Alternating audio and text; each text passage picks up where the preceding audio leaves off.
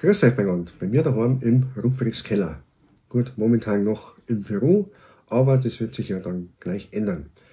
Heute freue ich mich äh, darauf, euch im Video zeigen zu können, einen kleinen Meilenstein, den ich jetzt in diesem frühen Stadium des Ausbaus der Klemmbausteigestadt erreicht habe. Und zwar habe ich den großen Gleisplan zu 95 Prozent fertiggestellt, diesen aber jetzt komplett digitalisiert. Das heißt, ich kann bereits Züge digital, digital fahren lassen, zwar noch per Handreglersteuerung, noch nicht automatisiert, aber immerhin.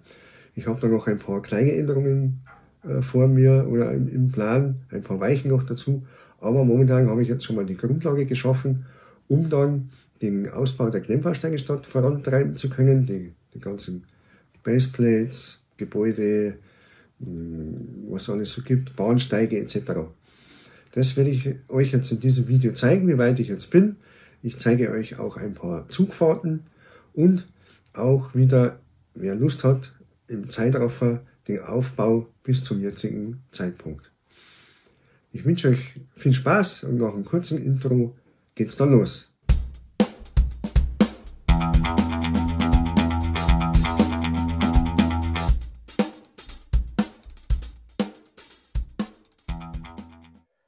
So, jetzt bin ich in den Keller gewandert und hier seht ihr mal einen Überblick über die gesamte Anlage. Hier auch mittlerweile mit der Brücke, die ja momentan jetzt noch aus Holz ist. Die wird aber dann irgendwann auch aus den Klemmbausteinen gebaut. Und nun ist alles wie erwähnt also vom Gleis her digitalisiert. Das heißt, ich, es sind jetzt überall diese Stromschienen verbaut, so dass ich überall das Digitalsignal und die Energie an die Loks weiterleiten kann. Und es sind auch die Weichen hier adaptiert auf das 12 Volt System von Lego, damit hier der Stromabnehmer, die Schleifer, die Kontakte nicht hängen bleiben beim Überfahren der Weichen. Warum verwende ich diese neuen Weichen und nicht die alten von, für das 12 Volt System? Da würde ich mir ja hier diese Adaption äh, ersparen. Das ist ja auch ein gewisser Aufwand. Und ich bin ja auch hier schon gefragt worden. Ich werde auch diese, diese Weichen mal in einem Video zeigen, wie ich das hier mache. Ja, warum nicht diese alten Weichen? Das ist jetzt relativ einfacher Grund. Ich lege hier mal eine alte Weiche daneben oder drauf. Man sieht hier, der Abstand ist ein ganz anderer. Bei den neuen Weichen habe ich hier acht Noppen dazwischen und bei den alten liegen die, wenn ich die hier verlängern würde, direkt aneinander. Was ist das Problem? Das Problem ist ganz einfach. Das kann ich auch hier mal zeigen. Wenn jetzt die, die Gleise direkt nebeneinander liegen würden, ich lege das jetzt mal so hier, oder ich mache es jetzt mal so einfach am besten. So, das wäre jetzt der Abstand von den alten 2 Volt, Volt Weichen. Und wenn ich jetzt hier von oben drauf schaue, würde mir der Zug bei der Kurve, also natürlich nicht alle Waggone oder nicht alle Loks, aber viele Loks hier so weit ausscheren, dass wenn jetzt hier in diesem Moment ein anderer Zug fahren würde, würde es hier eine Kollision geben. Als nächstes digital betrachtet seht ihr hier eine Kehrschleife.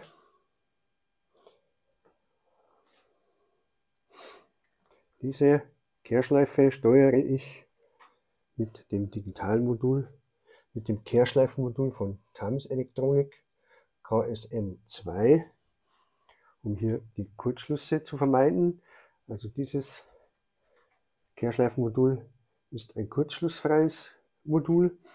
Genauso verwende ich ebenso ein, das gleiche Kehrschleifenmodul. Auch hier. Und zwar, hier seht ihr keine Kehrschleife, aber ein Gleisdreieck. Ohne diesen äh, Kehrschleifenmodul würde, würde es hier zu Kurzschlüssen kommen. Ja, was ist der Grund oder der Hintergedanke dieser Kehrschleife beziehungsweise dieses Gleisdreiecks? Warum baue ich so etwas ein? Das mache ich, damit ich den Zug auf der, auf der Bahn in die andere Richtung fahren lassen kann, ohne dass ich die, die Fahrtrichtung des Zuges ändere. Also sprich, der Zug fährt hier vorwärts ein und fährt auch wieder vorwärts aus und fährt dann auf dem Gleis gesehen in die andere Richtung. Hier sind dann die einzelnen Abschnitte mit Strom versorgt. Das werde ich aber dann künftig so machen, nachdem ich dann die Baseplates mal alle verlegt habe. Das ist jetzt eigentlich der nächsten Schritte. Wird dann die, die Leit werden dann die Leitungen jeweils von unten in diese Stromschienen geführt, sodass man die nicht mehr sieht, sieht und dann durch die Baseplates und durch den Tisch ein kleines Loch gebohrt, sodass die Kabel dann und die Leitungen dann nach unten weggehen und unterm Tisch dann angeschlossen werden. Das, wie gesagt, kann ich erst machen, wenn, wenn die ganzen Baseplates verlegt sind. Dann werden auch die einzelnen Abschnitte aufgeteilt für die verschiedenen äh, Blöcke, die wir dann brauchen, die Digitalblöcke, damit wir via äh, Rockwell in meinem Fall, also einer Software, die Züge dann automatisiert via PC fahren lassen kann. Die Modell, Digitalmodellbauer, für die ist das nichts Neues, aber vielleicht für den einen oder anderen dann ganz interessant.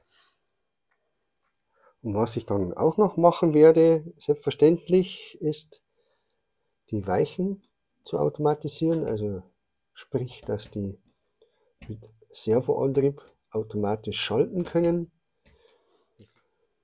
Auch hier werde ich dann durch den Tisch, durch diese USB-Platte ein Loch bohren oder Löcher bohren, um den Antrieb des Servos auf dieses Stellglied verbinden zu können mit Hilfe einer kleinen Stange.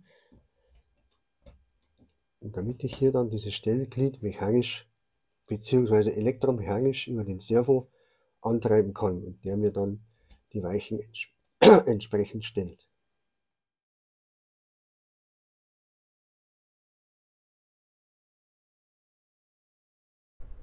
So, jetzt ist er wieder gut mit dem Geschmerz, würden wir in Bayern sagen. Also genug mit dem Gequatsche. Jetzt, wer will, kann circa 6,5 Minuten dranbleiben und den Zügen am großen Gleisplan beim Fahren zuschauen in verschiedenen Kameraeinstellungen. Und wer noch Lust hat, kann dann im Anschluss, so ab circa der Minute 14, den Aufbau bis zum jetzigen Stand im Zeitraffer verfolgen. Und wer keine Lust hat, dran zu bleiben, dem möchte ich jetzt schon Danke sagen fürs Zuschauen. Schön, dass ihr dabei wart. Würde mich um, über einen Daumen hoch oder ein Abonnement von euch freuen. Macht es gut und bis bald bei Rubrix.